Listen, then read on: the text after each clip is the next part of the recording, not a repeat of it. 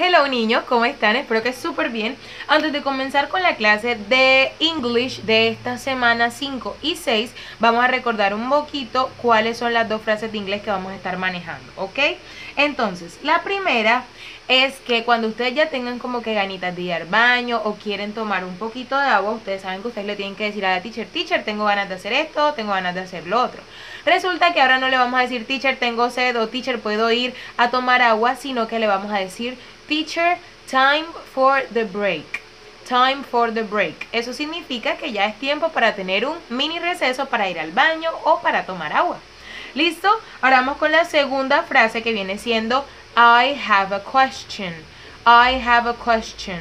Eso significa tengo una pregunta. Entonces, cuando ustedes estén en la clase, que no estén entendiendo y tengan muchas preguntas, ustedes le van a decir a la teacher, teacher, I have a question.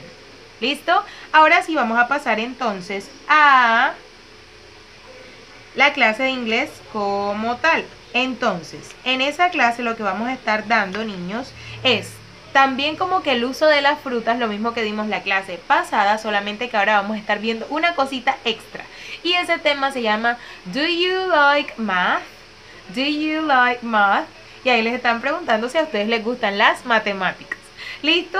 Entonces, bueno, para la fase de, ah, perdón, el objetivo que vamos a tener, niños, es que ustedes van a ser capaces nuevamente de expresar cuáles son las frutas que les gustan, si les gustan, si no les gustan, utilizando los emojis que ya habíamos creado, pero también les va a servir para que ustedes practiquen las sumas en English. Entonces van a aprender vocabulario acerca de las sumas, van a aprender a cómo contar con diferentes objetos, no solo con sus dedos, sino con lápices, con paleticas y con todo eso. ¿Listo? Ahora sí vamos a pasar entonces a la fase de inicio, en la cual vamos a repasar un poco el vocabulario de las frutas que ya vimos la semana pasada. ¿Listo? Entonces recuerden que a manzana se dice apple. Luego tenemos las peras que se dicen pears. Luego vamos con las naranjas que se dicen oranges. Vamos con las grapes que son las uvas. Luego recuerden que las zanahorias se dicen carrots. Luego vienen las papas que se dicen potatoes. Vamos con los tomates que se dice parecido a las papas. Se dice tomatoes. Y la última que es lechuga se dice lettuce. ¿Listo? También aprendimos un poquito vocabulario acerca no solo de frutas o de vegetales, sino también de comida, comida. Entonces vimos sándwiches, vimos gaseosas, vimos perros calientes. Y eso se dice, por ejemplo, la gaseosa se dice soda. Luego el sándwich se dice sandwich. Y luego el perro caliente se dice hot dog. ¿Listo? Entonces en ese vocabulario es el que nos vamos a estar centrando en esta clase de today. ¿Listo? Muy bien, ahora para pasar a la segunda fase, que es la fase de desarrollo, ustedes niños van a aprender cómo responder si alguien les pide que ustedes le hagan la suma de algo o alguien les pide la cantidad de algo. Listo. Entonces, lo primero, la primera palabra es el how many. How many. How many significa cuánto o cuántos. Cuánto, cuánta, cuántos, cuántas. Entonces, si yo quiero preguntar, ¿Cuántas manzanas hay aquí? Yo voy a decir, how many apples are there? ¿Cuántas manzanas hay aquí? How many apples are there? Entonces, cada vez que ustedes vean el how many, eso quiere decir que les están preguntando acerca de la cantidad de algo, la cantidad de algo por la cual quieren saber. Listo. Luego vamos a pasar a la palabra there are there are y eso lo utilizamos nosotros cuando queremos responder cuántas cosas hay. Por ejemplo, utilizando la misma pregunta de ahorita que es how many apples are there? Ustedes pueden responder there are five apples. Entonces, how many apples are there? Ustedes van a responder there are five apples. ¿Listo? Entonces ya sabemos, para la pregunta el how many y para la respuesta tenemos el there are. Listo, y ahora vamos con la última que viene siendo sumar, la suma. Y en el libro van a encontrar ustedes la palabra add, add, A-D-D. Ese ADD, add significa suma. Entonces, cada vez que vean ustedes la palabra add, Eso quiere decir que tienen que hacer una suma entre cualquiera de las frutas o la comida que les muestren ahí en el libro. ¿Listo? Entonces, vamos a hacer algunos ejemplos, algunos ejercicios para practicar un poco esto, ¿vale? Entonces, yo no voy a utilizar eh, ni dedos, nada de eso, sino que voy a estar usando unos palillitos de paleta. Los tengo acá. Entonces, los tengo así. Y vamos a proceder a hacer la pregunta. Y la pregunta dice, How many sticks, estos son sticks, palillitos. How many sticks are there? ¿Listo? Esa es la pregunta. Entonces, ¿ustedes cuántos pueden contar aquí? Muy bien. One, two, and three. Entonces, vamos a responder, there are three sticks. ¿Ok? One, two, three. There are three sticks. Listo. Vamos a preguntarle, vamos a hacer otra. How many sticks are there? Muy bien, ustedes van a contar, van a count. One, two, three, and four. There are four sticks.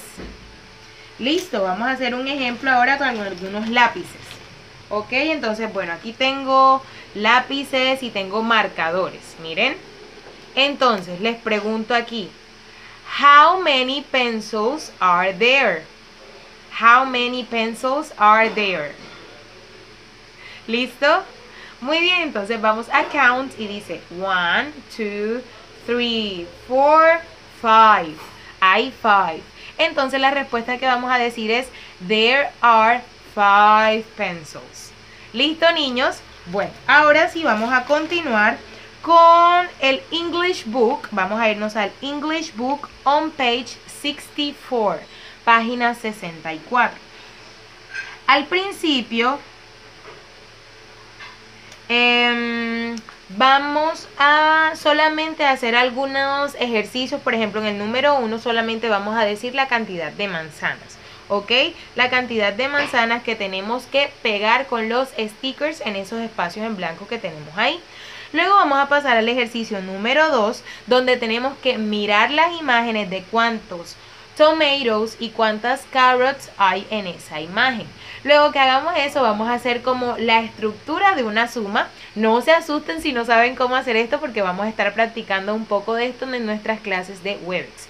Entonces vamos a hacer la suma y al final vamos a escribir qué resultado hay de frutas o de vegetales o de comida. ¿Listo? Entonces eso es lo que vamos a hacer en el ejercicio number 2 Luego vamos para el ejercicio number 3 donde tenemos que add. Recuerden que add significa sumar. Entonces ahí vamos a contar cuánta comida hay, cuántas peras, cuántas pizzas, cuántas tomatoes y cuántos glasses of water. Entonces vamos a ir sumando los que están arriba, los que están abajo y luego al final vamos a escribir cuál es el result, el resultado. Luego vamos a tener como... Mm, el recibo de un restaurante. Imagínense que ustedes fueron a un restaurante, comieron, lo disfrutaron todo, pero ahora tienen que pagar cuánto es. Ustedes se van a encargar de sumar lo que costaba tanto un hot dog como una soda o como un sándwich y un juice y van a decir cuánto tienen que pagar al final. ¿Listo? Luego nos vamos a mover a la page 66, a la página 66. Y en esa página lo que tenemos que hacer es un ejercicio de escucha. Si ustedes quieren en sus casitas pueden ir practicando cómo hacer ese ejercicio de escucha y luego en las clases vamos a encargarnos de resolver este punto. Entonces miren, aquí hay varios niños y esos niños están haciendo o comiendo cosas diferentes. Entonces en el audio ustedes van a escribir qué niño con qué nombre está comiendo algo específico. Y luego lo que tienen que hacer es solamente escribir una rayita desde el nombre del niño hasta donde se encuentra ese niño en la imagen comiendo. Y luego en la última, niños, ustedes lo que van a hacer es encargarse de escribir o completar con verdadero o falso. Recuerden que verdadero se dice true y falso se dice false. Entonces ustedes van a completar con true or false si a los niños les gustan una comida o si a los niños no les gustan. Para esta clase también necesito que estemos usando nuestros los emojis, los emojis de carita feliz o el emoji de corazón y el emoji de la carita que no le gusta porque vamos a estar practicando un poquito más con eso. Listo niños, eso es todo por la clase de English de estas semanas. Bye.